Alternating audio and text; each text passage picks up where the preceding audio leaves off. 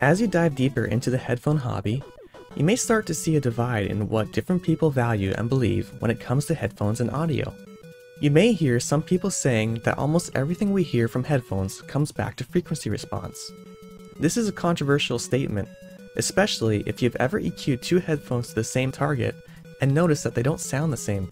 You may conclude that the claim that almost everything comes back to frequency response is baseless and something that people say just to validate their own opinion.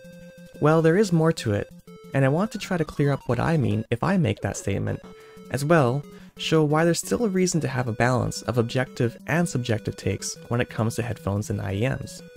Well, first of all, we need to clarify what we mean when we're talking about frequency response in this context. Some do take the statement as if it means the frequency response that you see on a graph when measured on something like a KEMAR.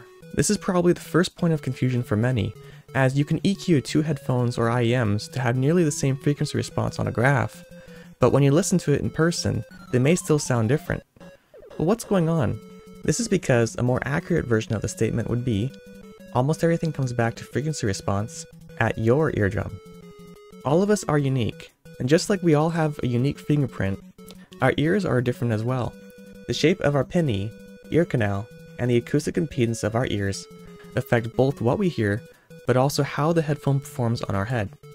Measurement rigs are standardized systems that match the acoustics of an average human, but they are not representative of you yourself. This means that even if you EQ two headphones or IEMs to the same frequency response on a measurement rig, they probably will still have a different frequency response on your own head. As well, unit variation and how you place the headphones on your head will affect the frequency response at your eardrum. So for the point about EQing two headphones to the same frequency response, it's not really feasible without exactly measuring the response of your own head. But then, what about things like speed, detail, or resolution? Well, these are things that people definitely hear. And even many who try to be more scientific still use these terms since they're good descriptors of what's perceived when using certain headphones but they still maybe aren't representative of the literal properties of the transducer or how it's performing. There is a lot that can be covered on this specific point, and quite honestly, I'm still learning. But as an introduction to this concept, I'll try to cover it in simple terms. On the topic of driver speed, it seems like an easy enough concept. It's just how fast the driver is able to respond to a signal, right? Some may say that a headphone sounds slow or fast, and that certain notes may seem to roll on, while on other headphones they may sound quick or snappy. Is this due to a driver being slow or fast? Well, in order for a driver to make an audible frequency, it needs to be fast enough to do so in the first place. If the driver was slow and lagging behind, it wouldn't be making the desired frequency as you'd expect. Rather, you may see distortions at high frequencies, and the frequency response dip at these high frequencies. Well, what about when multiple frequencies are being played at once? Surely driver speed comes into play here to play multiple sounds at once and layer instruments, right? Well for this, it's good to look at a waveform. When multiple frequencies are played at once, they combine together to create a sound wave. Our eardrum is able to take this combined sound wave and transfer the movement from the pressure wave to our cochlea. The wave then moves through the fluid in the cochlea and triggers specific narrowband receptors that respond to certain frequencies. From this, our brain is able to hear individual frequencies from a single combined sound wave. So when a transducer is creating sound waves, it's playing the final combined signal with all the frequencies contained in a single motion. But what about resolution or detail in headphones? This again could be linked back to frequency response.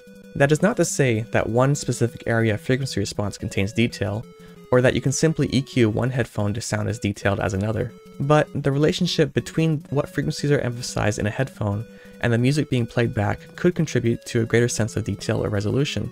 For example, say that one headphone is playing back music, but a lot of the smaller details and nuances are barely audible. With another headphone that emphasizes those smaller details, it may sound like there's more detail than the other headphone.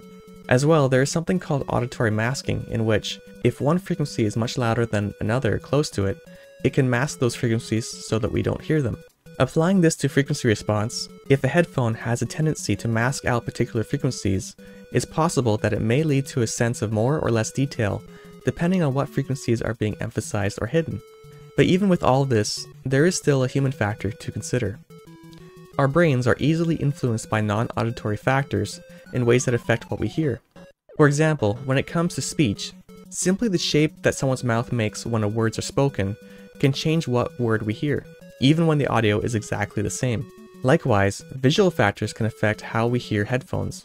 Knowing their cost, build quality, or even just looking at the frequency response graphs and creating a preconceived expectation can affect what we hear when listening to a particular headphone or IEM. Our brain is always trying to make connection to past experiences and expectations. The way headphones feel on your head, or how much room is inside the ear cup, could also influence how a headphone sounds to you. Open backs may also create more of a sense of openness or width when you hear the ambient noise of your room, which could draw a connection to your brain from the past experience with ambient noise and the room sound. So, what does this all mean? To me, it means that there's a balance to enjoying audio, recognizing and appreciating the physical and scientific aspects of headphones and IEMs, but also realizing that we still all hear differently, and that it's still best to listen to a headphone for yourself to fully understand how it sounds to you.